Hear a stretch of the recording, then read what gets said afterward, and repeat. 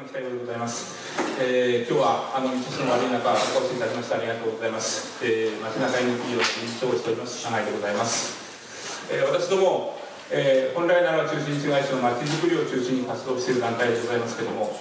やはり、えー、国の中心部といっても例億1円からお客様がお見えになるいうことで、やはり人口の減少というのは一番あの効いてくることでございます、まあ、そういう中で、えー、今年のあ夏に、えーまあ、地方創生、えーまあ、一仕事創生ができるということで準備室の段階で、えー、東京の方に伺いまして、えー、このチャンスを福井で生かさないといけないと。いう思いで、えー、お話をさせていただきましたところえー、こういうシンポジウムをやるんだというふうなお話をしましたところ、えー、快くご参加いただく。これ全国的にも先ほどもちょっとお話を聞いたんですけども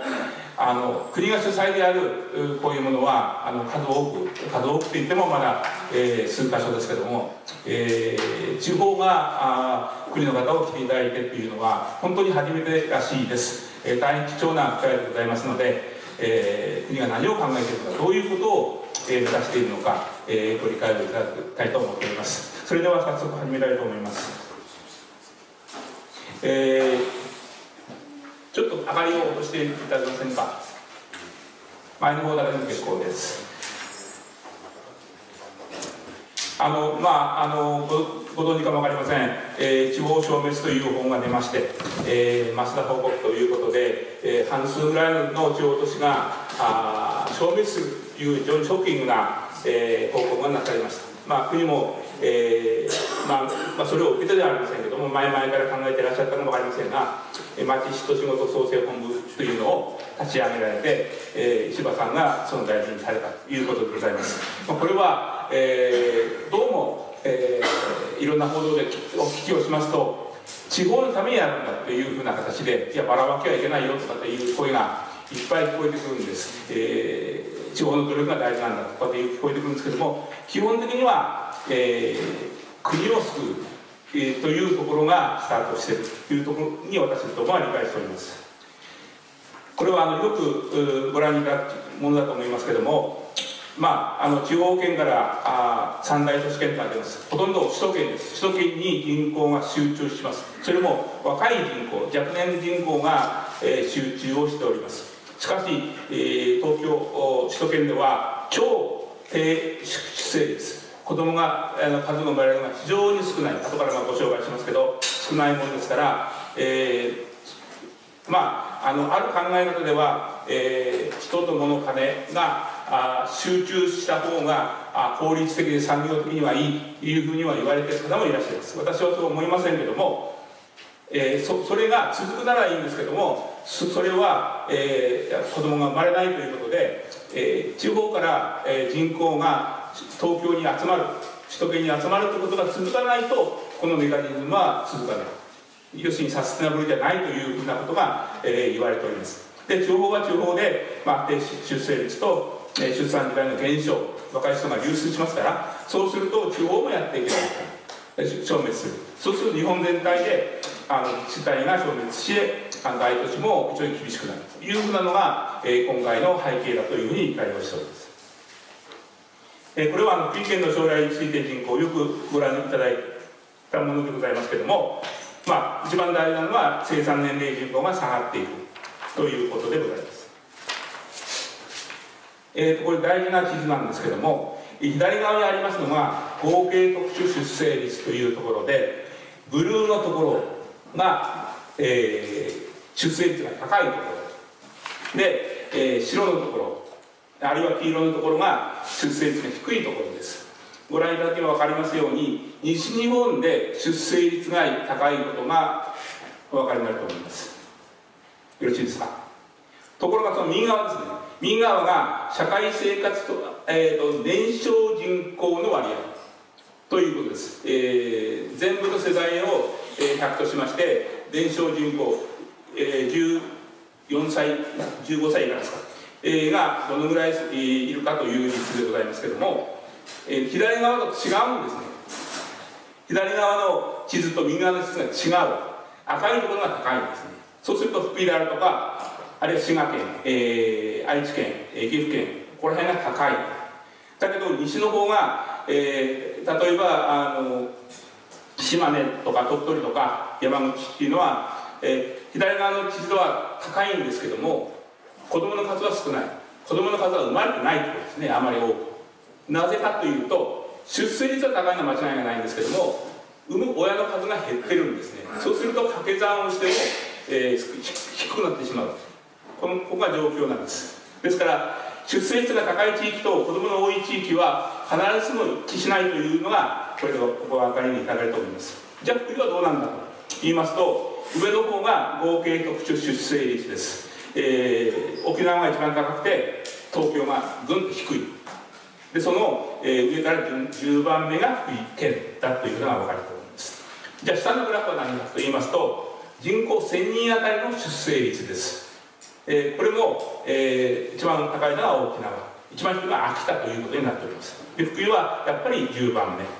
それで、えー、東京がぐんと高くなります。これはあの、えー、若い人の割合が多いですから出生率は非常に低いんですけども1000人あたりでいうと高くなるということですね。でこちらのグラフの方がより重要なのではないかなというふうに考えております。え今度は全国平均を、えー、XY 軸の0にしました。であの Y 軸の方が合計特殊出生率です。先ほどお話ししました。で右側の方が社会上限率です。はい。で、えー、いわゆるそうですね。一番上に沖縄っていうのが見えます。ちょっと見にくいで申し訳ないです。一番上ですね。沖縄っていうのは、えー、転入転出はそれほど、えー、全国平均と変わらないんだけども、えー、出生率はすごく高い。逆に東京が一番向こうにいます。東京は転入は多いんだけど出生率は非常に低いということです。で、えー、4つに分けられまして例えば転入が多く出生率が高いのが緑のところ右上のところですね、えー、滋賀愛知、えー、福岡がそうです。で、えー、転入は多いけども出生率が低いっていうのが、えー、東京とか千葉とか神奈川とか埼玉。で、えー、そして、えー、転入転入も多いけども出生率が低いというところが京都北海道奈良秋田とかっていうところですね。で京都は学生がいっぱい来るんでいいだろうと思うんですけどもあの出生率は低いんですね。でここはやっぱ生産性が悪いということになります。えー、福井はあの左上のところ品質が多いが出生率は高いというところです。はい。で、えー、斜めの線が引いてありますけどもこれはどういうことかと言いますと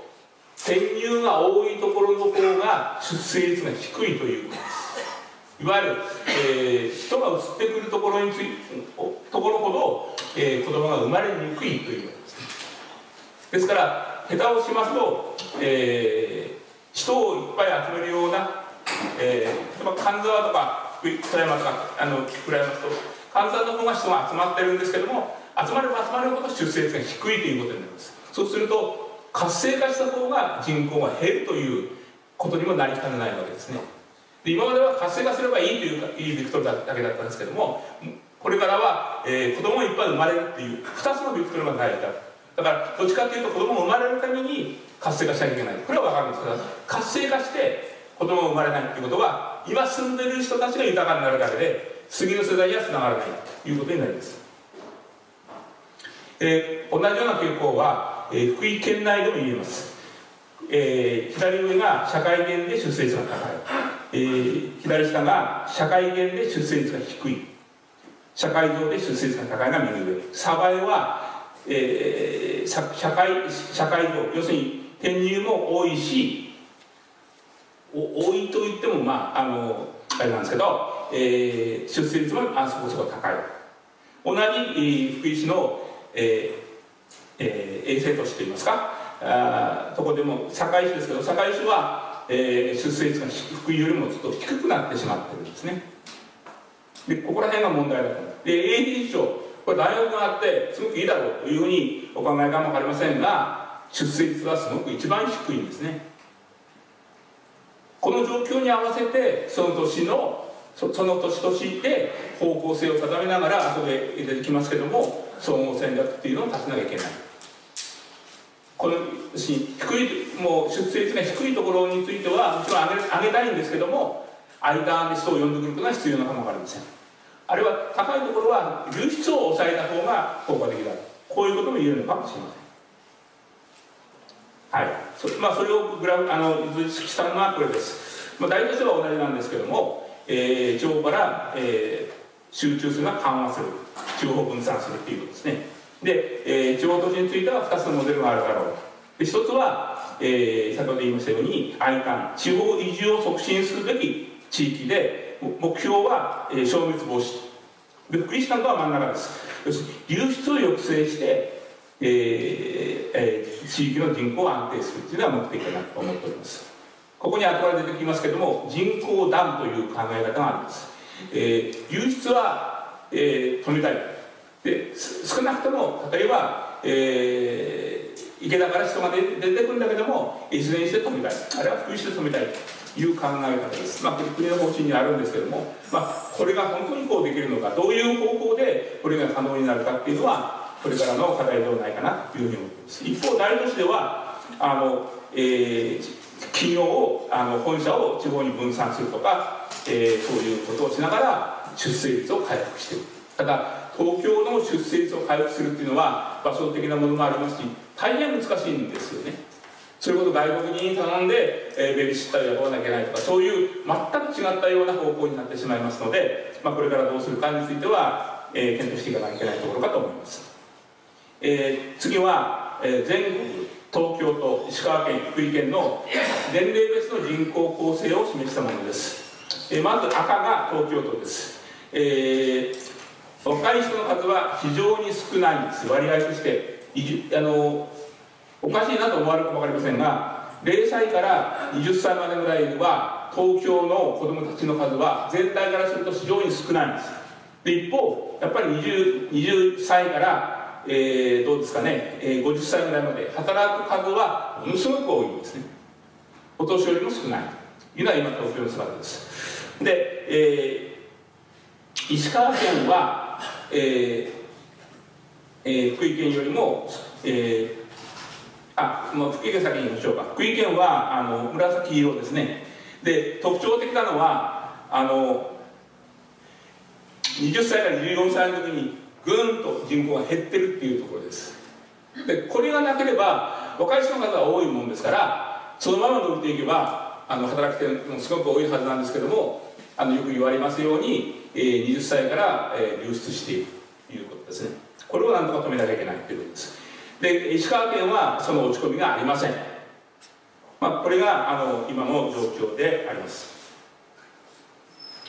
それを今度福井県内の市町で見ていきます、えー、市だけですかね。市市で見ていきます。そうしますとあの福井はブルーです。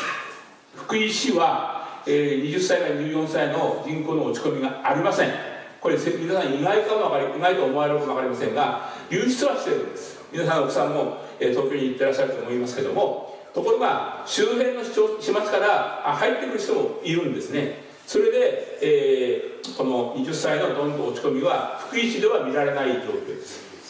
で他の土地はあのぐんと落ち込みます。しかしあの特徴的なのはこのサバイです。赤のサバイです。サバイは35歳ぐらいから、えー、ちょうど子供をむ世代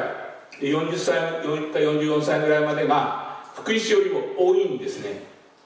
若い人が働いているんですよ。そうするとどういうことになるかというと0歳から、えー、19歳までの人口が割人口の割合が福井市より高いということですね。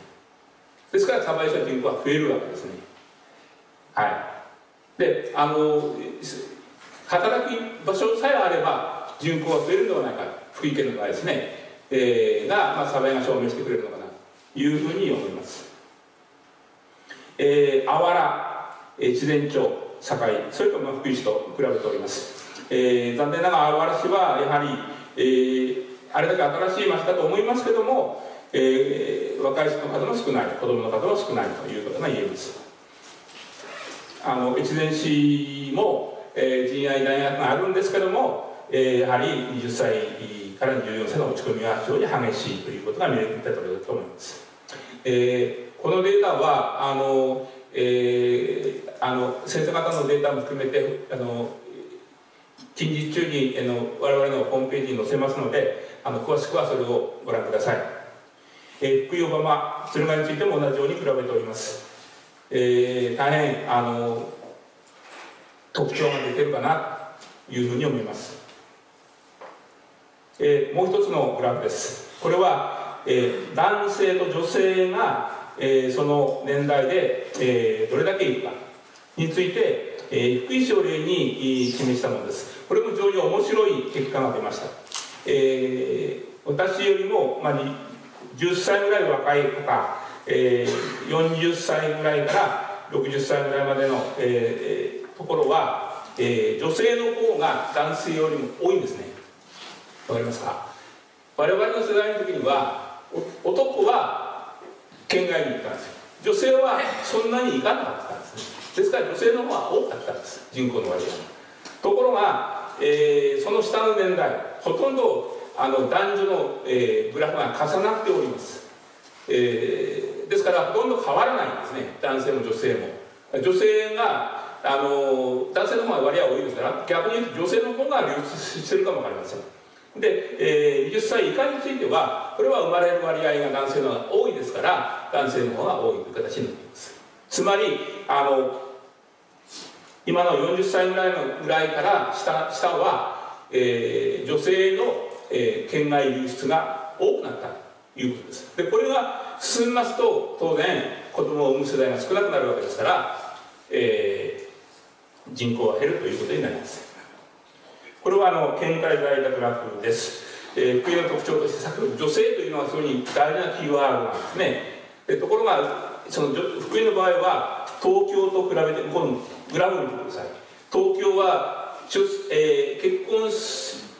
をしますと、えー、会社を辞めて、えー、働いてる人がぐんと減るんですね。とは福井は減らないんですよあまり、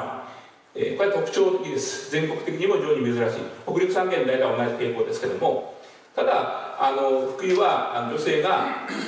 主にものづくりのところで正社員として働いていらっしゃいます。給料は安いんです。安いんです。それからもう一つ言いますとあの役員にならないです。地域限定正社員と言ってもいいかもわかりません。そういうのを福井は取っていますので、えー、家族も、ま、家庭も守れる。仕事もできると。形でえー、旦那さんの収入はちょっと少ないんだけど奥さんの収入とおじいちゃんおばあちゃんの収入合わせて、まあ、世帯収入は結構高い方だというふうに言われています。じゃあ国の特徴のもう一つ、えー、正規雇用の割合ということをお示しいたしました。であの非正規雇用が多いところが低く正規雇用の高いところが高く出ています。これ言いますと、えー、福井は福井県は全国1位正社員として働く人の数が多いということが見て取れると思います。こういうふうな特徴をやはり、えー、福井は生かしていかないといけない。この正規雇用の割合というのは下に書いてありますように製造業建設業に多くて、えー、流通サービス物販が低いんですね。えあのアルバイトであの雇い働いてる人が多いのはやっぱり飲食であるとか流通であるとかそういうところがあの非正規雇用が多いものですから、えそういうところでは福井は非常に安定をしているということが言えるかなというふうに思います。はいえー、っとこれは皆さんよくご存知のか分かりません、えー、全国のいろんなランキングが載っておりますけどもえー、学習面そしてから、えー、健康というところ持ち家である。と、えー、そういうものは寿命が長いと。非常に高くなっております。平均貯蓄も、えー、7位ということで高い方でございます。一方で、えー、の死亡率であるとかあるいは未婚率であるとかそれから一人暮らしとかっていうのは全国的にも47位非常に低いあの特徴ある県ということです。生活保護率も低いということです、えー、犯罪発生率も低いということでございます。あの福井県は出生率年少人口率が高く学力が高く、健康で、えー、家庭地域が安定しており一人当たりの所得は少なくても家族が支え合って暮らす。本来の日本らしい良さが残っております。しかしここが問題なんですけど、えー、若者及び保護者には福井に未来を感じていない。ですから高校生あるいは高校生の親が、えー、子供さんの、えー、将来を考える時にあ県外に行った方がいい県外の方が就職しやすい未来がある。いうふうに考えてるわけですね。でこのギャップが大きいわけですよ。こ、えー、他の県の方からあるいは大学の先生専門家からは幸せの日本一あるいはその、えー、住みやすい都市っていう形で言われるんですが、えー、実際のマーケットっていいますか、えー、判断される高校生あるいは高校生のあの保護者の方はえー、福井じゃない福井に未来はないと。都会に行かなあかんと。こういうふうな選択をされるんじゃないかなというふうにですね。このギャップをどう埋めるかが今回の課題かなというふうに思います、えー、自民党の政調会長のあの稲田朋美さんは、えー、最初のあの選挙に出る時から日本区域計画、えー福井のいいところを、まあ、日本に日本全体に広めるんだと。いうふうなお話をされる地元ではされておりますけど東京でされてるかどうかは分かりませんが、えー、本当にあの地方の理想モデルとして福井がなれるのかというところですね。ただそれを、えー、どう理解していただいて、えー、あの全国にアピールしていく。でその、えー、高いところを理解したしたしたことが今回の地方創生にどう反映できるかというところが、えー、今日の後半のあの今からの、えー、ご講演であるとかあるいは、えー、シンポジウムのあのディスカッションの中で、えー、確認をしていきたいなと思っております、えー、ようやくあの今日の主役でございます。えー、小山さんおお付きになりましたので、えー、前座はこの辺で終わりたいと思います。ありがとうございました。